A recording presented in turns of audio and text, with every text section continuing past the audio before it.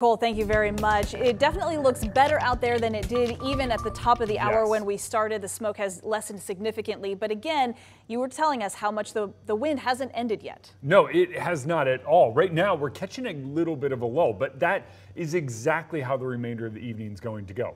We're going to get those strong bouts of wind. Wind will pick up, pick up, pick up, pick up, stay strong for 15 minutes, maybe 20 minutes with those gusts, and then it'll go back down. You'll think we're through it, but we're not. Then we're going to build it back in.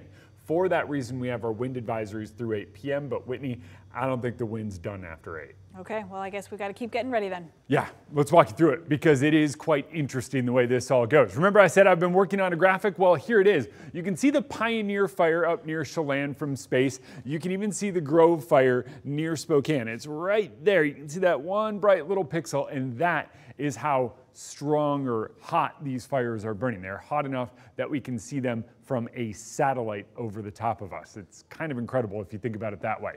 Wind still blowing out of the west when you move up, you move down to the ground, west southwest at 32 miles per hour. So we hit that peak about 15 to 20 minutes ago. We're going to come back down, up, down, up, down. That's just the way wind works. We will see those gusts get stronger. We are not through the strongest gusts yet. I don't think those are going to happen for another little bit. But when it comes to the fire, you can see in the most recent radar scans, the past two radar scans, so these are going out every five minutes. Past couple, you're not quite getting that same level of smoke up in the atmosphere. So things are slowly improving. Doesn't mean they're done, doesn't mean wind's done, doesn't mean it's not going to get worse.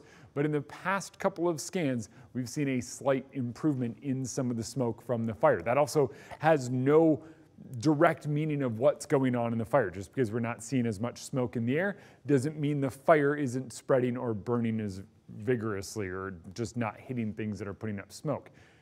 Doesn't mean things are done. Air quality sits at moderate, so it has deteriorated, not quite to the unhealthy for sensitive groups. You're probably feeling a little irritation. I am in my nose. That's just where we are when our air quality hits that moderate range. We're going to keep a close eye on it. Not quite unhealthy for sensitive groups yet. The wind is expected to stay strong through 8 p.m. and then eventually start to ebb. The ebb doesn't happen until after midnight when we finally start to calm down.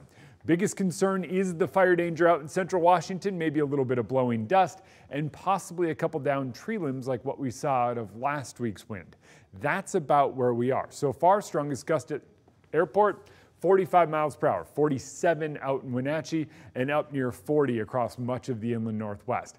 That's where we stay for the remainder of the day. Overnight, things do start to calm down. We will watch our wind gusts drop to about 10 to 15 tomorrow and Thursday. They stay at about 5 to 10 miles per hour. Friday, we're back in it with yet another cold front, yet another round of wind, and likely another round of elevated fire concern because there's no rain in the forecast. 74 and sunny tomorrow, mostly sunny and 80 on Thursday.